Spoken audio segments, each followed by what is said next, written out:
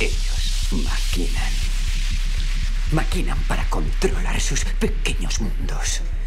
Yo no maquino. Intento enseñarles a los que maquinan lo patético que es que intenten controlarlo todo. Así que instaura una pequeña anarquía.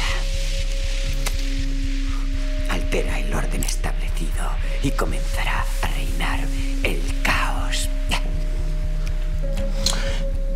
Soy un agente del caos. ¿Y sabes qué tiene el caos? Que es justo.